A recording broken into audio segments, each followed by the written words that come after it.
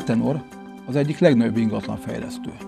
Innovatív A plusz kategóriás, zöld környezetben lévő épületei vonzák a bérlőket. A 8. kerületi Arena Business Campus első és a 13. kerületi Váci Greens irodakomplexum utolsó két épülete 2020-ban kerül átadásra.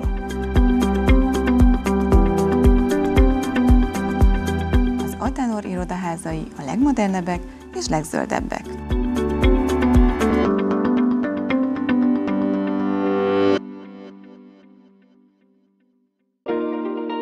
Lakásvásár támogatója a Hungest Hotel szállodalánc.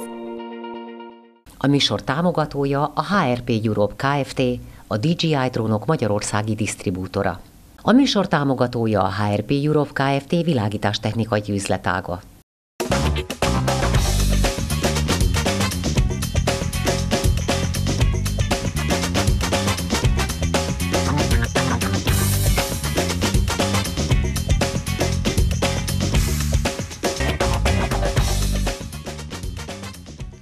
Lakásvásárlatos csatorna, szeretettel köszöntjük Önöket! Én is köszöntöm nézőinket. Műsorunk első részében a szociális bérlakásokról lesz szó, mégpedig abban az összefüggésben, hogy vajon Magyarországon hogyan lehet növelni, egyáltalán milyen módja van annak, hogy több szociális bérlakás legyen. Jelenleg csupán 9-10% a bérlakások aránya a teljes lakásállományhoz képest. De lesz ma fel a fejjel, és mi lesz benne a Júlia? Így van. A FIAPCI ingatlanfejlesztési nívódíj pályázat győzteseit mutatjuk be. Tartsak velünk! Német Miklós ingatlan szakértő a vendége. Szervusz, Miki! Szervusz, Lazi, üdvözlöm a hallgatókat, nézőket! Bérlakásokról beszélünk, és beszélgetünk a következő 10 percben. Ez mindig aktuális, és mindaddig aktuális lesz, amíg valami látható eredménye nem lesz ennek a területnek. Ugye a bérlakásoknak több fajtája van, a piaci bérlakással nincs semmi gond, mert az működik, és nem csak a rövid távon, hanem hosszú távon is. Sokkal inkább a szociális, vagy közösségi, vagy akárminek nevezhetjük bérlakások, önkormányzati bérlakások, amiből nagyon kevés van. Egyébként összesen 240 ezer, és ez viszonyítva a teljes lakásállományhoz, hát bizony 9-10 százaléka a lakásállománynak. Sokszor beszélgettünk már erről, és még fogunk is valószínűleg. Mi lenne az a megoldás, ami megnyugtató lenne? Ugye most halljuk a, a főváros új közgyűlésének a, a terveit, abban is szerepel a bérlakás szektornak a, a megreformálása, vagy valamilyen formában történő felélesztése. Mi lenne szerinted az a legideálisabb megoldás, ami országos viszonylatban tudna rendezni ezeket a szociális bérlakásokat, illetve ennek a helyzetét? Az én véleményem az az, hogy itt egy paradigma váltás előtt állunk. Ugye van most egy uralkodó paradigma, hogy a tulajdonhoz jutás van minden szempontból patronálva, és ezzel szemben át kellene gondolni és át kellene gombolni a kabátot, és át kéne esetleg abba az irányba menni, hogy inkább a lakhatás támogatása, és azon belül a bérlakások építése, vagy bérházak építése. Ez nyilván egy közösségi feladat, ami közösségi forrásokat igényel, ahol eddig megvalósult. Budapest egy-két, sajnos csak egy-két, de ki kell mondani, például a 13. kerület ebben nyilván élen van és vezet, kerülete, a és a 9 de, de ezeket a területeket kellene fejleszteni. Az önkormányzatoknál van lehetőség arra, hogy a telket tudják tulajdonképpen vinni, vagy szanálások révén meglévő régi épületek lebontásával, vagy esetleg felszabadult egyéb területek bevonásával, és olyan közösségi igényt kellene kielégíteni, ami talán furcsán hangzik, de szerintem egyre inkább aktuálisabb, valahol a társadalmi igazságosságot tudná erősíteni. Az, amire talán most a legnagyobb szükség van. A jövedelem az a kulcs szó, és a jövedelemnek a hiánya. Ugye akik nem rendelkeznek olyan jövedelemmel, azok a bérlői státuszba kerülő emberek, vagy nyilván lehet ez foglalkozási, és abból kifolyólag biztosított bérlakás, de nagy számok törvénye szerint, és ahogy említed a szociális rendszert, ott a rászorulókat kell támogatni.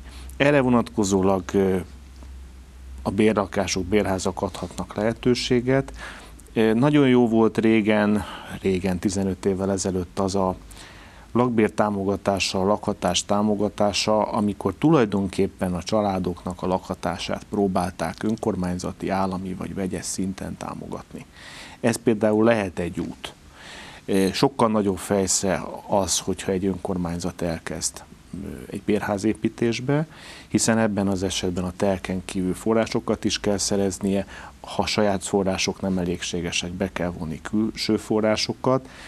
Nyilván a szociális városrehabilitációs és a fővárosnak, hogyha ez ténylegesen a következő öt évben jelentős elgondolása lesz, akkor fog erre olyan keretet biztosítani, amire pályázhatnak az önkormányzatok, de tudjuk, hogy ez is kevés.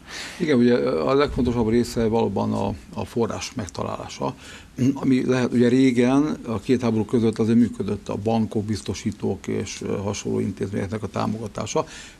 Mai napig is látunk ilyen házakat, ugye bérházakat. Lehet egyfajta retro, hogy ez visszatérjen, kérdés, hogy megérje nekik. De lehet egy másik út az uniós támogatások megszerzése. Tehát nyilván föl kell kutatni azokat a forrásokat, amiből el lehet indítani egy ilyen folyamatot. De mindig azt mondom, hogy a, a bérlakást, és ezt a szociális bérlakást a munkaerő vándorlással kellene valahogy összekötni, tehát a munkaerő mobilitással kellene összekötni. Te hogy látod ezt? Én is így látom. Nagyon jó a példa, amit említettél és egy kicsit ez a régi példa, a háború előtti példát a mai viszonyok között. Kaliforniában bérházakat építenek. Hatalmas összegeket adnak rá az amerikai cégek, hogy a lakhatást biztosítsák. Igen, de az adóból ők le tudják ezt írni. Tehát valószínűleg, ha lennének olyan ösztönző elemek a magyar adórendszerben, és ezek lehetnek helyi adók is, amivel megéri mondjuk egy helyi vállalkozónak, vállalkozásnak hazai vagy külföldi vagy joint venture vállalkozásnak, hogy építsen a, a munkavállalói számára bérházakat, akkor erre van lenne mód és lenne lehetőség. Sajnos ennek most jeleit nem látjuk, tehát valószínűleg ezért nem is fordultak ebbe az irányba. De lehetne ez egy kitörési pont. A másik, amit említesz, az uniós források. Bocsánat, Én... még az, ezt hadd tegyem hozzá azt, hogy nem egy olyan nagy cég jött be Magyarországra, amelyek ezt megtehetnék, ugye autógyárakra gondolok elsősorban, és mégsem ezt az utat választják, hanem inkább bérelnek és béreltetnek. Hát igen, mert ugye maga az, hogy én építek, az egy sokkal hosszabb folyamatot feltételez, Nyilván. és adott esetben én nem tudok gondolkodni ezeknek a cégeknek az agyával, de hogy 20-30 év múlva mi lesz, azt ők se tudják, adott esetben azokban a székhelyeken se, ahol azoknak a cégeknek a székhelyei vannak. Hát látjuk, Ez... hogy, hogy munkaerőcsökkentés is van ugye sok helyen. Így van, és lehet, hogy ezért nem gondolnak így, hanem egy prompt, random megoldással a helyi lakáspiac kínálta lehetőségeket felhasználják. Igen ám, de vannak haj, hazai vállalkozások is. És hogyha azt nézem, hogy 30 éve a rendszerváltoztatás után hány hazai vállalkozás épített bérházakat, bérlakásokat, amit te említettél, hogy a háború előtti állapot, amikor a belső kerületek úgy alakultak ki, és ugyanakkor a cégeknek a tulajdonosai azok a budai zöldövezetben vagy a pesti zöldövezetben laktak, de pontosan tudták azt, hogy biztosították ezt a fajta lehetőséget a munkavállalóik számára, ez most hiányzik. E, hiányzik talán ennek a kultúrának a kialakulása. Félbeszakítottak az uniós forrásoknál tartottál. Igen, az uniós források, hát nálad jobban kevesen tudják azt, hogy erre vonatkozólag mindig is volt keret. És most is van. És nem állulunk el nagy ö, ö, csodát tulajdonképpen, hanem mondjuk, hogy van bizony a Juncker féle bizottságnak, az ex-Juncker féle bizottságnak egy hatalmas nagy kerete, amire lehet tá- pályázni. Bocsánat, ebből kapott a 14. kerület például. Ebből kapott a 14. Tizen... másfél milliárd forintnyi megfelelő összeget. Igen, csak ők ezt euróban nézik ugyanennyivel. Igen. Tehát, hogyha azt nézzük, akkor itt sokkal nagyobb lehetőségek vannak, ez az egyik, amiből kellene élni. Most ugye újra indul a következő uniós ciklus, meg kellene próbálni adott esetben az képviselőknek közösen, hogy ebbe kerüljenek források, és próbáljuk ezt ilyen módon allokálni megfelelő helyekre, és nem csak a fővárosra kell gondolni, hanem a vidéki városokra is. Azért nagyon sok olyan vidéki város van, ahol települnek cégek, ipari parkok vannak, dolgoztatnak, elég sok munkavállaló érkezik, lenne erre igény, és talán a városvezetésekben is meg fog az a szándék akkumulálódni, hogy erre kellene, és talán ha többen gondolják ezt, és talán ha többen próbálnak ebben az ügybe lépni, akkor sikeresebb lehet ez a program. Nagyon szépen köszönöm, hogy elmondtad a gondolataidat. Visszatérünk majd szerintem erre a következő hetekben, hónapokban. Megvárjuk esetleg a fővárosnak a lépéseit is, hogy mit találnak ki. De azt gondolom, állami szinten kellene ezt igazából megoldani, mert az önkormányzatok lehet, hogy kevesek ehhez. Valószínű. Együttműködés. Így van. Köszönöm szépen köszönöm. még egyszer. Maradjanak velünk, mert következik a fel a fejjel rovatunk, amelyben ezúttal a fiaci nívódiakról esik szó.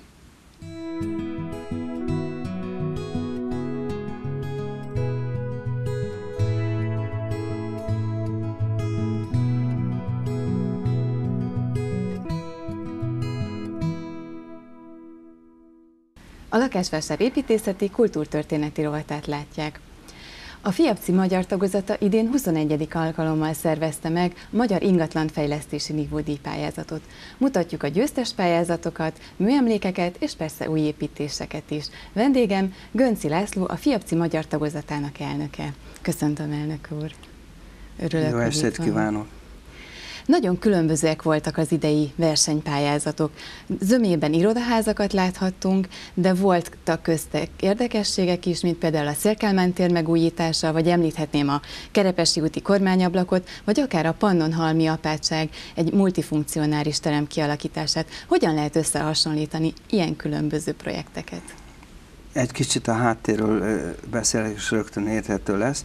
Tehát a FIAPSZI magyar tagozata ezt az ingatlanfejlesztési nívódi pályázatot azzal a célral indította el, és azóta is e szerint szervezi, hogy a World Street Journal által támogatott FIAPSI World Prix Excellence pályázaton e, tudjanak indulni a győztesek, és ennek megfelelően a kritériumok is azonosak, és e, a pályázatnak a elbírálása során azt az elvet követjük, hogy amennyiben minimum három projekt érkezik egy adott nemzetközi kategóriába, ott a, a, a legjobb szálloda, vagy legjobb irodaház, vagy, vagy, vagy lakóház, vagy egyéb létesítménynek az első díját is kiadjuk, tehát a legjobbat.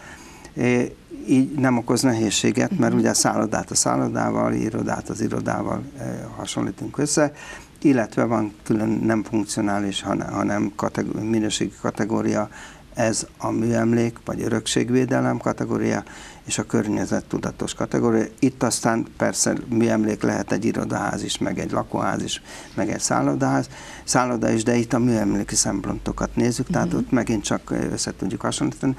Természetesen sokkal nehezebb a helyzet, hogyha egy adott kategóriából nem jön össze három projekt, és itt, itt az ingatlan fejlesztési fő kritériumokat veszük figyelembe, a nemzetközi pályázatnál ugye a koncepció, az építészeti műszaki technikai megoldás, a finanszírozás és marketing szempontok, környezettudatosság és a társadalmi hasznosság az a, ezek a szempontok. Tehát ezeket a szempontokat azért össze lehet hasonlítani, függetlenül uh-huh. attól, hogy ez egy irodaház, vagy egy lakóház, vagy egy bevásárlóközpont akár. Hány projekt indult idén a versenyen? Azt kell mondani, hogy a, a gazdasági vagy építőipari fellendülést követve idén rekordszámú pályázat érkezett, soha nem volt még 30 pályázat, a legmagasabb is ilyen 27-28, vagy 25-20, tehát olyan 24 és 28 uh-huh. Mhm. pályázat között érkezett jelentkezés. Tehát ez most,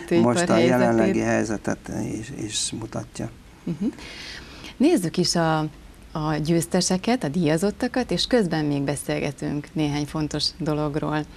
A harmadik díjat nyert, és a legjobb projekt a pályázók szavazata alapján a Moholi Nagyművészeti Egyetem kampusz fejlesztése volt.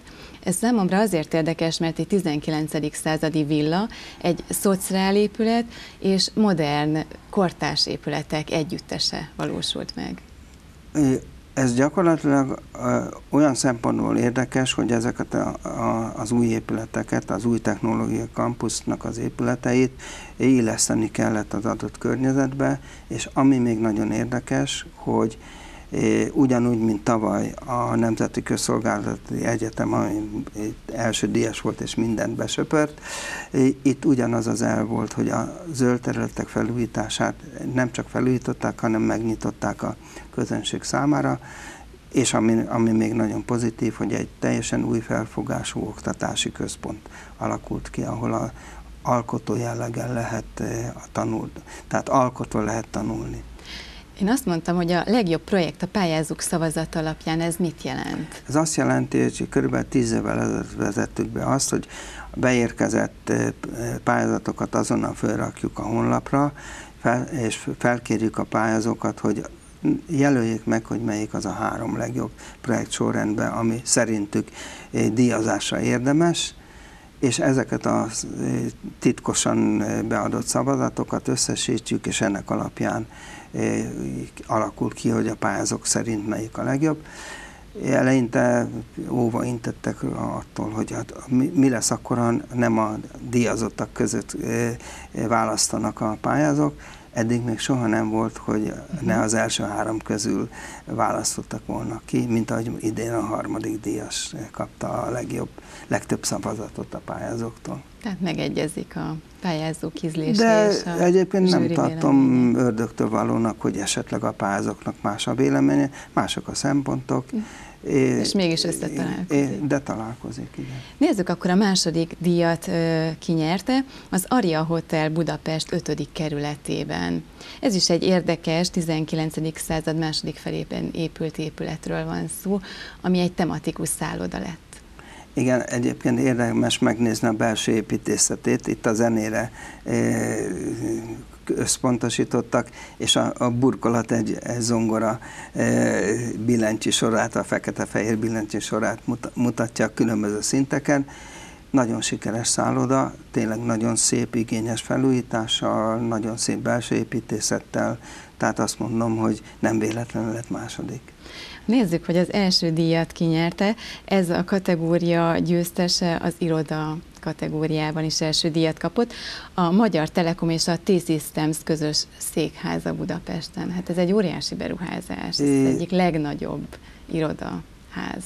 Magyarországon. E, egyrészt nagyon, nagyon nagy irodaház, de ez nem kilóra megy. Tehát itt a, pontosan az az érdekes a, a nemzetközi pályázaton is, hogy ez egy olyan, ahol a Dávid legyőzheti a góliátot, uh-huh. mert a minőségre e, e, ad, adunk, és nem, nem arra, hogy most hány tonna betonacél van, van egy házban, meg hány emeletes. Mitől lett ő az első?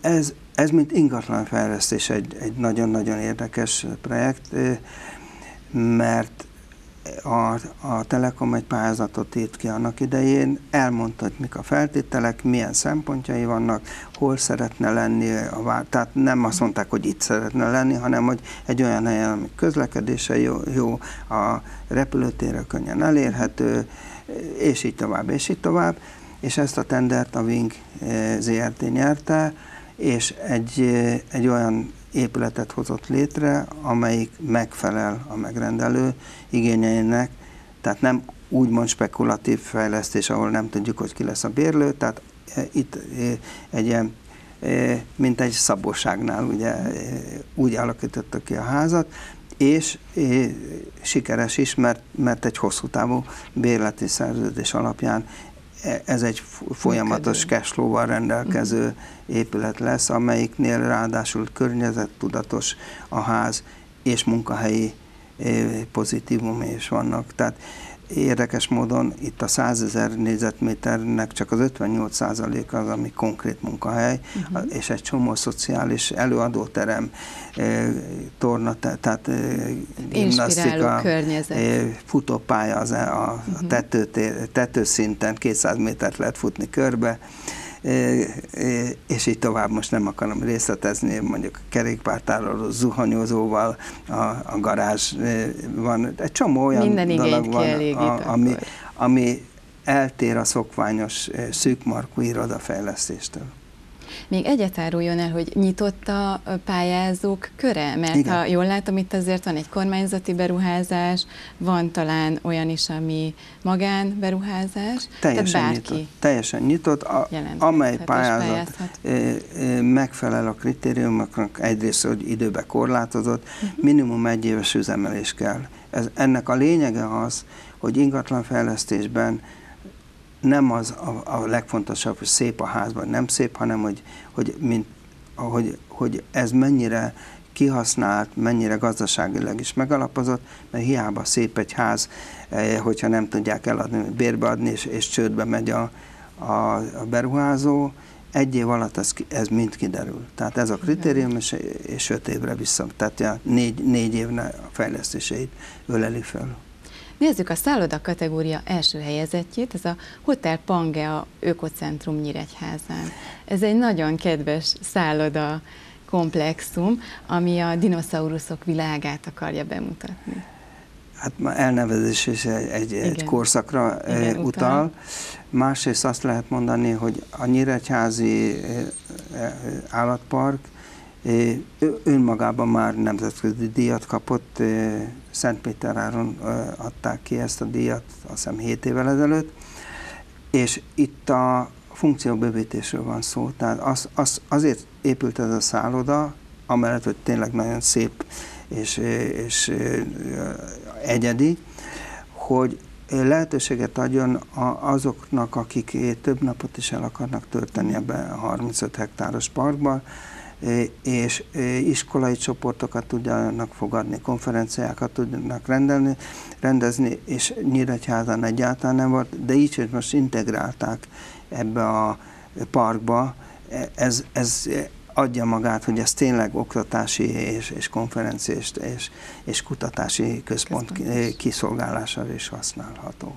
A környezet tudatos kategória első helyezettje szintén egy irodaépület, méghozzá a White House irodaépület a 13. kerületben. Azt lehet mondani, vég ne nézzünk a mezőnyön, a 13. kerület igen, igen erősen reprezentálva van, az iroda folyason több, több iroda is létesült az utóbbi időben, és mindegyik környezettudatos különböző kategóriákban. Itt a Környezettudatos Egyesület, a HUCB adta a hátteret, és egy nagyon komoly elemzés alapján ők javasolták ezt a a díjat vagy kategória győzelmet a, a, ennek a, az épületnek. Ez azért érdekes számomra, mert egy régi és egy új épületet alakította ki. A régi épület az egykori Slik Ignác alapította vasöntöde és gépgyár volt, és így egy loft hangulatú irodaépület jött létre a régiből. Úgyhogy ez egy nagyon érdekes ötvözet, a szóval régi és az újnak. Erre tényleg csak vulgárisan azt tudom mondani, hogy ez még habatortán. Tehát eh, tényleg nagyon érdekes, eh, egy jobb sorsa érdemes épület üresen állt, aztán a Tuttomobilionnak volt ott eh, egy, egy ilyen raktár jellegű bútorboltja, és De most, most végre most, most integrálták, és tényleg nagyon jó. Az oktatási kategória első helyezettje a Budapesti Német Iskola bővítése. Ez egy számomra kedves projekt, ami az érdekessége, hogy egy, itt is egy bővítés, egy fejlesztésről van szó, és 12 osztályos képzésre utal a napóra, Igen. ami az idő múlását szimbolizálja.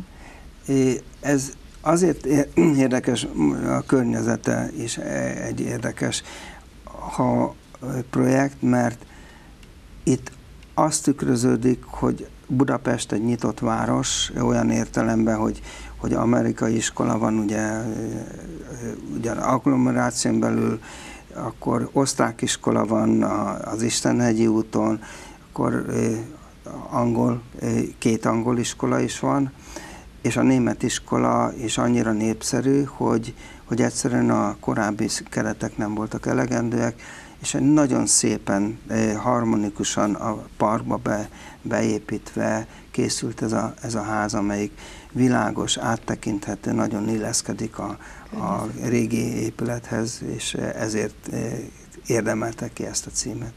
A kereskedelmi kategória első helyezettje az Újpesti Piac és Vásárcsarnok és Újpesti Rendezvénytér egyben. Hát ez azért érdekes számomra is, mert hogy fér meg együtt egy piactér, alul egy mélygarázs, és fölötte két szinten pedig egy kulturális csarnok. Na most ennek az egésznek az érdekessége, hogy ez, ez egy több fázisú fejlesztésnek a középső üteme, gyakorlatilag ugye Újpestnek a városközpontja, amelyik egy elég furcsa városközpont, mert, mert nem tér, hanem egy, egy út mellett lévő, ugyan térnek nevezett, de inkább egy, egy, egy út mellett lévő első ütem része az a Városháza és a környezetének a rendezése. Mögötte egy, egy eléggé elhanyagolt piac volt ilyen kaotikus állapotban. Ugye erre volt a példa a Lehel csarnok esetén is, hogy mit lehet ebből Igen. tenni.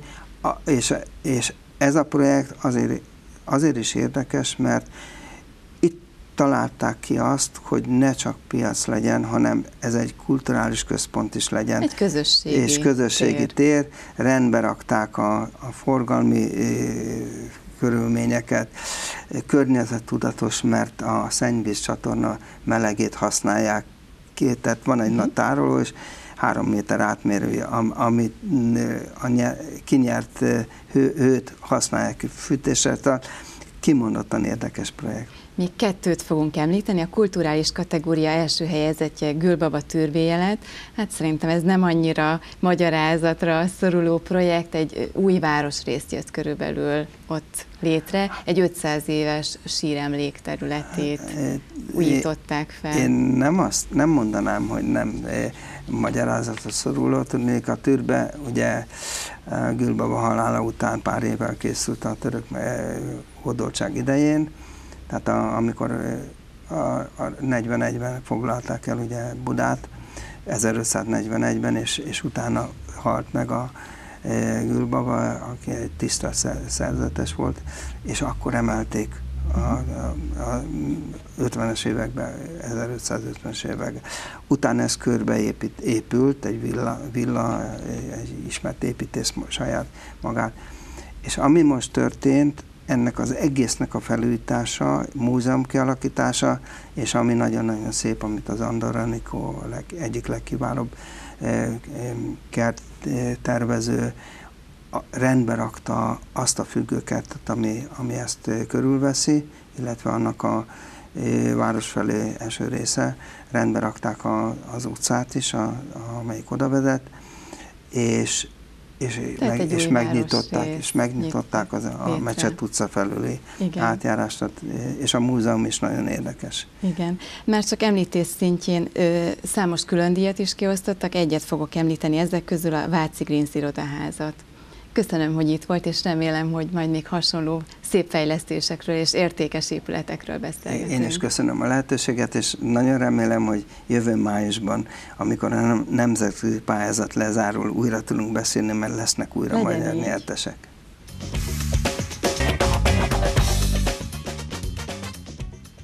Ezeket a nívódíjas épületeket önök is bármelyik nap megtekintetik Budapest vagy az ország bármely területén. Köszönjük a figyelmüket, lakásvására legközelebb egy hét múlva jelentkezünk a viszontlátásra. Viszontlátásra.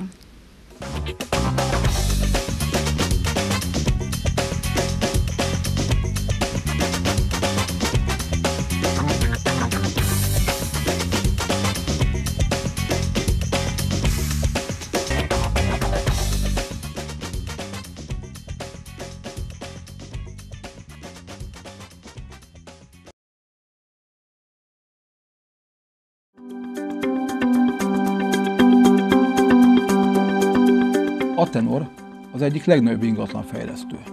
Innovatív A plusz kategóriás, zöld környezetben lévő épületei vonzák a bérlőket. A 8. kerületi Arena Business Campus első és a 13. kerületi Váci Greens irodakomplexum utolsó két épülete 2020-ban kerül átadásra.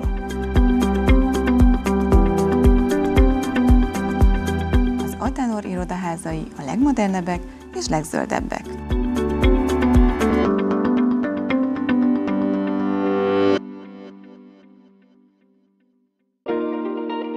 A lakásvásár támogatója a Hungest Hotel szállodalánc. A műsor támogatója a HRP Europe Kft., a DJI drónok magyarországi disztribútora. A műsor támogatója a HRP Europe Kft. világítástechnikai üzletága.